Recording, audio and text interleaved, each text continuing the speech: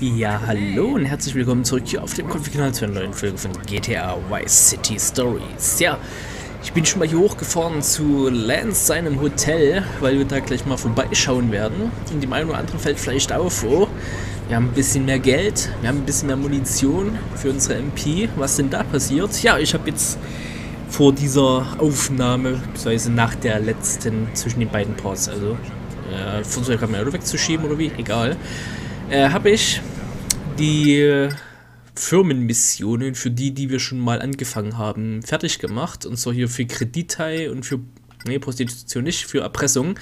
Da habe ich die Level voll auf die 15 hochgebracht dass wir da schon mal den vollen Umsatz quasi haben. Prostitution habe ich noch nicht gemacht, weil wir uns das ja zusammen noch gar nicht angeschaut haben. Und die anderen drei Stränge haben wir ja noch gar nicht freigespielt, deswegen gibt es die auch erst später. Aber die beiden, ja, Business-Zweige, nenne ich es jetzt einfach mal, die sind jetzt auf dem Maximum, kriegen jetzt auch ein bisschen mehr Geld dadurch jeden Tag und die Prostitution, die schauen wir uns dann irgendwann nochmal an und dann werde ich die vermutlich auch nochmal außerhalb der Aufnahme fertig machen. Aber soweit erst später. Wir lassen den Fußgänger jetzt hier mal weiter, überfahren die einfach mal und schauen mal bei Lance in seinem Hotel vorbei, was der überhaupt hier macht. Wir hatten ja schon einen turbulenten ja, Anfang mit Lance in der ersten Mission in Jive Drive. Aber wir haben doch gar nicht so viel überhaupt mit ihm gesprochen, was er denn hier so will. Apropos Geld, da ist es auch schon soweit. Was gibt's denn diesmal? Ich habe nicht drauf geguckt. 4500 Dollar. Vorher habe ich, als ich das erste fertig gemacht habe, 3600 bekommen. Sprich dadurch, dass ich jetzt die Kreditteildinger noch fertig gemacht habe, gab es nochmal 900 extra. Was jetzt auch nicht sonderlich spannend war, weil fast alle Autos, die man da klauen muss, sind wirklich direkt vorm Betrieb gespawnt. Da hatte ich mega Schwein. Die sind fast alle direkt vom Betrieb gespawnt. Da hatte ich echt leichtes Spiel. Aber gut, was möchte denn Lance? The Audition. I am Lance Vance, baby. You can trust me. Lance T. Vance, a T for truck. Great. yeah, love. I love you, man. No, not in a funny way. I ciao. What was that? nothing. Didn't sound like nothing. Vic, look at me. It was nothing. And you look at me. What was that about? You thank me. Like I haven't heard that before. What have you done? I found a way in. Two kids, oh. broken home, no education, no father. What? And rich as shit. It's the American dream, baby. People with good look, medical treatment. We are not kids. We're young at heart. Listen, look, I met a big player. And we'll get big money for doing absolutely nothing. This better not be drugs. We won't be touching no drugs, man. Come on. You know, I'm your brother. You can trust me. Fettkohle fürs Nichtstun hört sich ja schon mal an wie so geht gar nicht. This player? My man's name is Forbes. He's gonna call us at the burger bar any minute now. So let's get down there pronto. Na gut, das ist der gleiche vorne. Wir haben tatsächlich ein Zeitlimit von einer Minute und 15, um bis hier vorzukommen. Ich denke, das sollte man vielleicht gerade noch so schaffen. Das war knapp. Kappa. So merchandise is hidden in the car's side panels. Ah, yeah. No problem.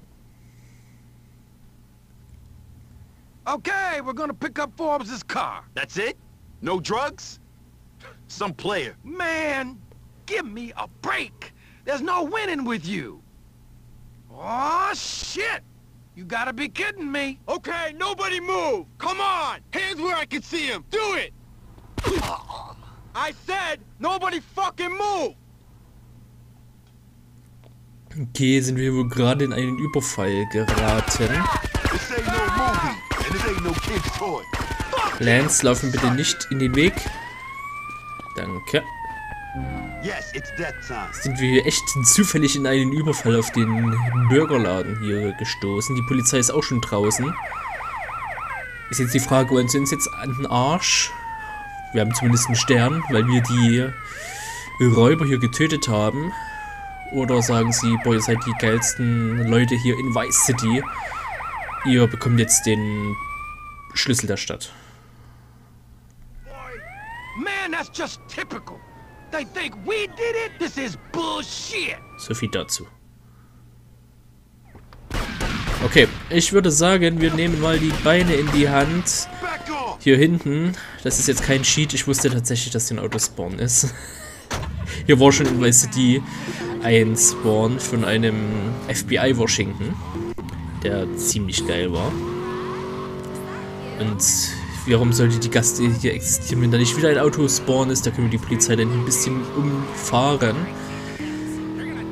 Ich weiß, ja, bis auch nicht geguckt, haben wir ein Zeitlimit, um bis da runter zu kommen? Wir sollten jetzt zum Hafen, ne? Genau. Ich habe jetzt nicht aufgepasst, ob dann, weil ich so aufs Rennen konzentriert war. Aber ich. Boah, gehen wir in Paint Spray oder gehen wir nicht in Paint Spray? Ich gehe mal nicht in Paint Spray. Wir nehmen mal die zwei Sterne mit hoffen mal, dass das gut geht. Ich meine, im Endeffekt sind wir doch unschuldige Bürger. Ich meine, wenn die einfach mal da in den Bürgerladen reingehen und da mal gucken, was das so ab war, dann müssten die doch sehen, dass die Leute, die die, die Räubermasken auf hatten, tot sind. Soll uns das nicht entlasten? Ich meine, gut, wir haben sie getötet. Aber trotzdem, wie gesagt, wir haben der Menschheit ja einen Gefallen getan.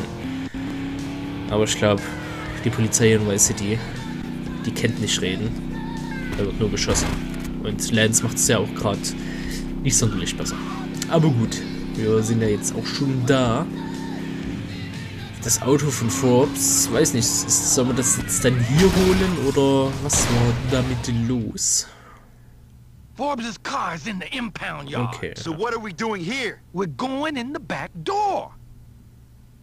okay. Hol ein Motorrad. Ganz zufällig steht hier eins. Fahr die Treppe hinauf, um aufs Dach zu gelangen. Ist bloß keine Polizei. So. Fahr über die Rampe, um über die Kluft zu springen. Na dann. Wollen wir mal, mal gucken, ob wir da drüben reinspringen können. Mit der schönen E.T.-Referenz hier. Dringen die Verwahrstelle ein.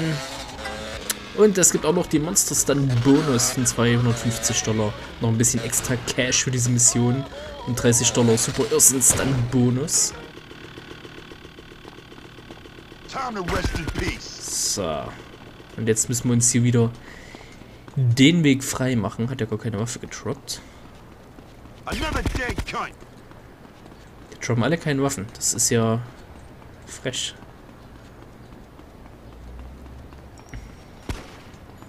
So. Können wir den schon anvisieren? Nein. Jetzt. Die sind zum Glück kein großes Hindernis hier in den alten GTA-Teilen. Die sind da erstmal alle ein bisschen defensiv und den ersten Schuss, den treffen die sowieso immer nie.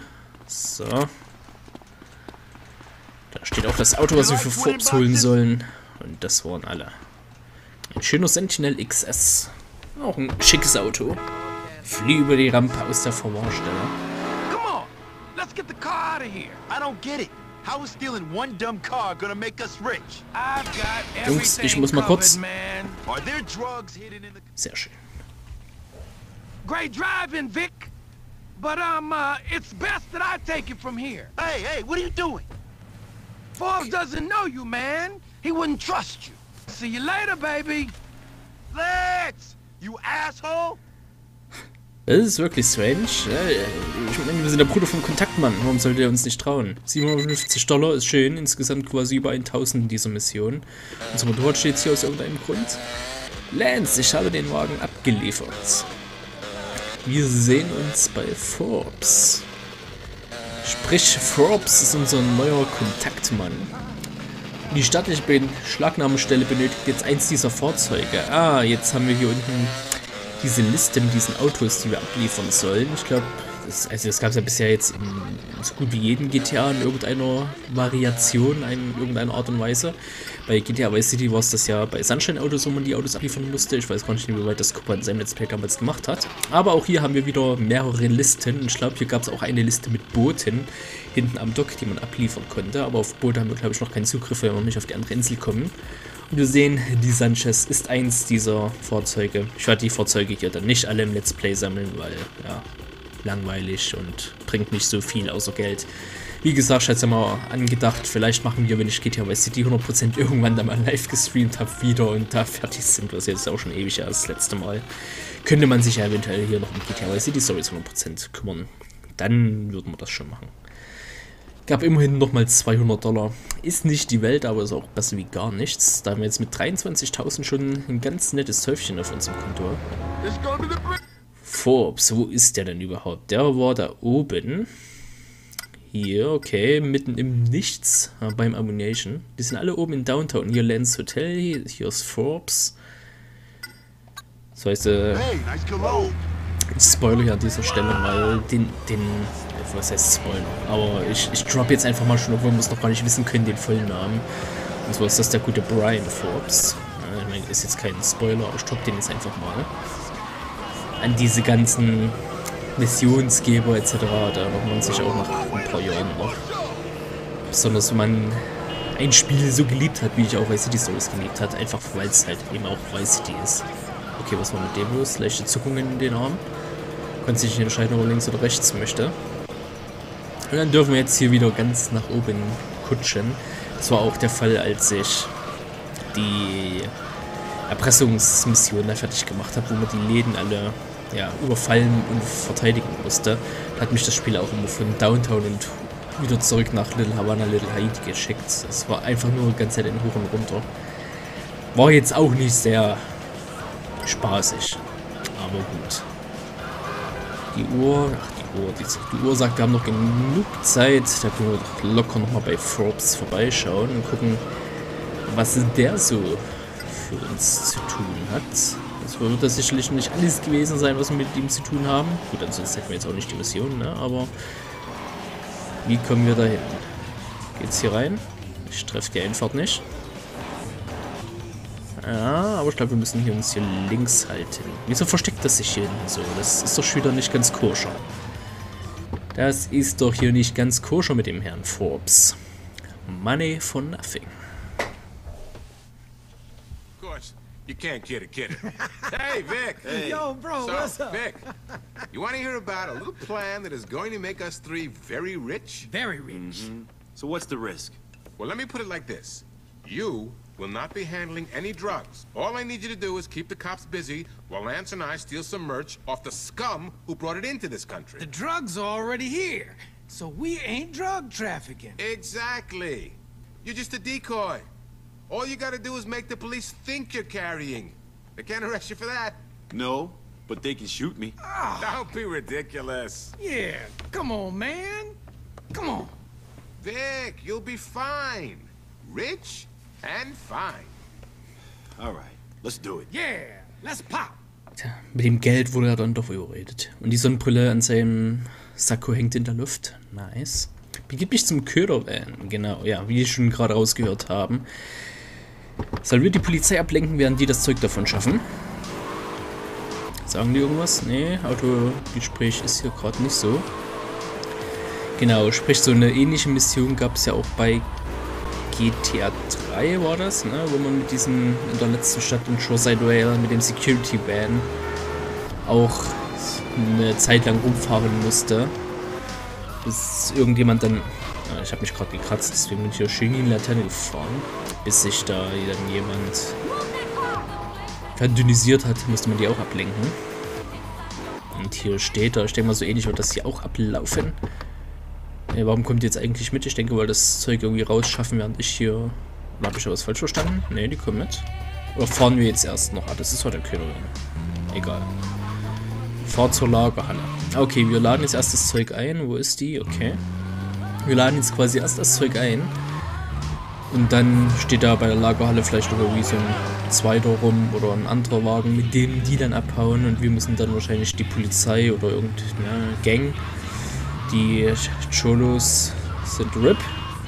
Die Kubaner werden uns jetzt, glaube ich, nachdem wir erst für die Mission gemacht haben, uns nicht anlegen. Für die Biker, keine Ahnung. Aber jeden Fall wird uns dann bestimmt irgendjemand verfolgen, wenn wir hier jemanden mit dem Wagen ködern sollen. Und dann lassen wir uns da einfach mal überraschen, wer das ist und was das ausufert. Sorry. Falls wirklich mit dem Van jetzt hier fahren, sollten wir da vielleicht nicht zu viel Damage machen. Das ist falsch. Ich habe es vermutet. Aber ich habe tatsächlich in der Vice City Map Führung einen Fehler gemacht. Ich bin enttäuscht von mir selbst. Ich bin zu zeitig abgebogen. Sorry. So, was steht denn da? Ein Motorrad, das hilft uns leider nicht. Ich habe übrigens während der Mission, als ich die Offscreen gemacht habe, gemerkt, oh, in Vice City Stories, da gab es ja auch Fahrräder. Es gibt hier tatsächlich Fahrräder. Aber die stehen dann bloß irgendwo rum. Im normalen Verkehr fahren die, glaube ich, nicht rum. Oh, da werden wir schon von der Polizei beobachtet. Aber das wussten wir wahrscheinlich deswegen der Ködervan. Wir wussten, dass die uns beobachten. This is gonna be the decoy van. Come on, Vic, you drive. This van's the wrong color, Forbes. Relax. It's nothing a little paint can't fix. This van is good to Van Go. Yeah, funny. Vic, take the decoy and lead the cops away from here. We'll let you know when we're home free. Okay. Dann wollen wir mal vorausfahren, die Polizei etwas ablenken. Fahren nach Süden und weg von Lance. Okay, wir sollen nach Süden fahren. Da haben wir ja schon so eine Anweisung bekommen. Gibt drei Sterne. Die Cops folgen dir, halte dein Fahndungslevel aufrecht. Sprich, Paint Spray ist auch verboten. Breaker, breaker, what's your 20? For Christ's sakes, Lance, speak English. Uh, yeah. We're on our way. Keep the cops busy. Wir versuchen es. Wir haben natürlich die Polizei am Arsch, wir haben einen Hubschrauber am Arsch, wir haben auch schon das Sondereinsatzkommando am Arsch. Das gibt es sicher auch schon bei drei Sternen. Aber.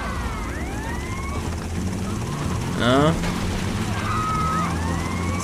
Wir müssen natürlich aufpassen, dass wir jetzt nicht so unbedingt auf Konfrontationskurs mit der Polizei gehen. Ansonsten fahren die uns den Wagen so Schrott, dass wir quasi aussteigen müssen. Der explodiert. Und dann war's das. Oh Gott, da konnten wir gerade noch ausweichen. Den Krähenfüßen. Das hätte richtig blöd enden können. Wir müssen uns jetzt auch so ein bisschen hier unten im Hafen aufhalten. Weil wir müssen ja nach Süden fahren. Wenn wir jetzt wieder in die Nähe von Little Havana, Little Haiti kommen, da ist dann die Mission vielleicht auch gescheitert, weil wir die eben nicht weggelockt haben. Fortschrittsbalken, ja, ist bald. Okay, was macht der hier? Ist bald bei der Hälfte, aber ein bisschen müssen wir uns jetzt hier noch beschäftigen. Im Hafen. Die Straßensperre hier ist gespawnt, das ist sehr schön. Ich versuche jetzt einfach hier ein bisschen im Hafen im Kreis zu fahren. Ich denke, das sollte eigentlich machbar sein. So ein Bulli, der hält ja ein bisschen was aus, wenn wir nicht gerade gegen den Zaun fahren. Ich wollte die ja eigentlich gegen den Zaun drängen und der steht auch noch da. Hat aber nur so halb geklappt. Aber es geht voran. Die Polizei wundert sich auch nicht, dass wir nur im Kreis fahren hier.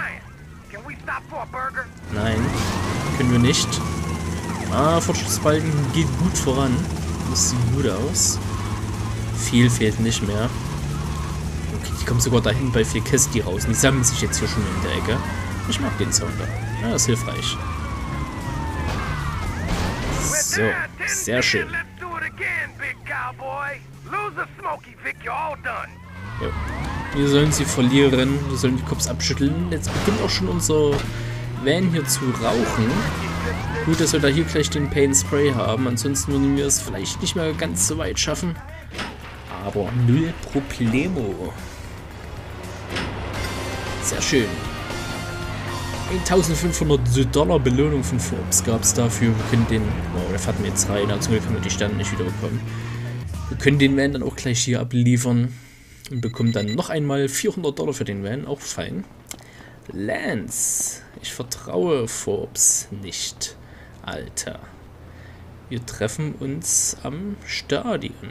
Okay, das ging ja schnell, dass Lance sich schon wieder Forbes nicht vertraut. Irgendwie eine Zusammenarbeit miteinander eine richtige und schon ist es, liegt da was im Argen. Schon ist das Vertrauen nicht mehr da. Das ging sehr, sehr schnell. Aber gut. Die Mission würde ich sagen, schauen wir uns im nächsten Part an. Aber ich möchte euch jetzt einfach nochmal, wo wir schon jetzt alle Betriebsmissionen so ein bisschen kennengelernt haben, würde ich sagen, schauen wir uns auch nochmal die Prostitution an, wie das da abläuft. Ich kann mir vorstellen, dass das so ein bisschen so ähnlich wie das Pimping-Minigame bei GTA San Andreas ist. Sprich, dass wir Nutten irgendwo hinfahren müssen, dann wieder bei Freiern abholen müssen und ab und zu gibt es einen Freier, der nicht zahlt oder die Nutte dann zusammenschlägt und töten will oder so, dass wir dann den Freier da töten müssen. So war es bei San Andreas. Ich schätze mal, dass das hier in etwa genauso ablaufen wird. Das war eine Mauer. So viel braucht man da jetzt aber auch nicht. Dann, ich glaube, ich bin jetzt zu zeitig. Ne? Ich muss da runter. Wir sind ja schon bei 20 Minuten. Sprich, wir da irgendwie so zwei, drei Level uns mal anschauen. Dann ist das schon okay. Machen wir heute hier mal ein bisschen Überstunden. Da können wir schön durch das Haus durchschauen. Prostitution hatten wir hier gebaut. Schön groß, mit einem schönen Auto davor.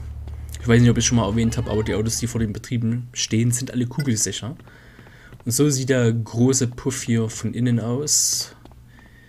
Hier geht's nach oben und hier warten die Damen auf ihre Kundschaft. So. Äh, Imperiums-Mission, genau. Die Zuhälter-Mission. Verlasse das Bordell, das schaffe ich noch. Eine Rufstufe steigt man auch schon. Aber wir müssen sogar den Wagen nehmen, okay. Wenn man ein Level alleine macht, sprich, wenn man ein Level macht, kann es sein, dass man auch schon ein bisschen mehr Geld bekommt. Lass das Mädchen einsteigen. Ja, die hellste scheint sie nicht zu sein, aber dumm fickt er bekanntlich gut. So, bringen sie zu ihrem Kunden. Genau, wir haben Zeitlimit von 20 Sekunden, okay, aber das ist ja gleich um die Ecke. So. Sehr schön, nimm noch ein Mädchen mit. War das dann... Wir sind aber noch nicht bei Job 2. Also das hier scheint ein bisschen länger zu gehen wie der Rest. Da gehen wir ja mal recht fertig. Äh, recht schnell fertig. Komm. Mach ihn. Mädel. So, wir haben auch nochmal 30 Sekunden Zeit. Okay, warum liegt hier auf der Straße ein Baseballschläger? Hab ich da aus Versehen jemanden überfahren? Sorry. So, bitteschön, viel Spaß.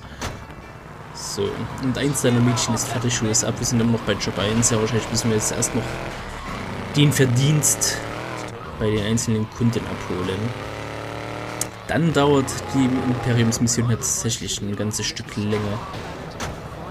Na komm, wie die anderen beiden. Wenn jeder Job so lang geht. So, und bring sie zum nächsten Kunden. Jetzt sind wir bei Job 2 angekommen. Wahrscheinlich für jede Dame, die irgendwie Geld quasi mit nach Hause bringt, steigen wir ein Level oder so. So, einmal mit der Ruhe.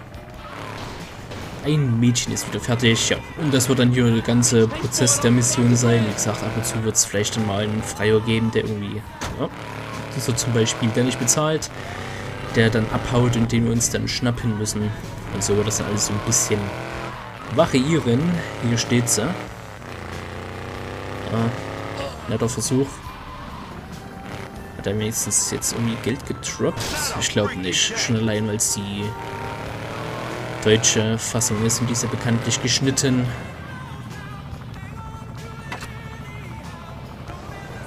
So, das war dann auch Job 3 und ja, wie gesagt, so die ganze Prozedur, ui, da hat ja ein bisschen tief gestanden.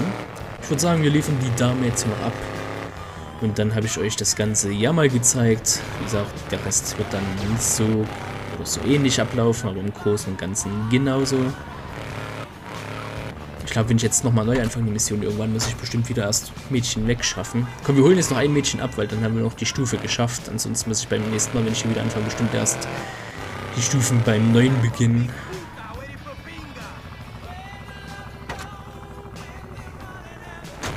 So, Job 4. Gut, reicht. Dankeschön. Wie gesagt, wir speichern ja bei Mission 4. Sprich, wenn ich hier irgendwann weitermache, starten wir an diesem Punkt in der Mission wieder. Tschüssi. Und ich würde sagen, das war's dann auch für den heutigen Part. Ich hoffe, ihr seid dann morgen wieder mit zu einer neuen Folge am Start. Bis dann.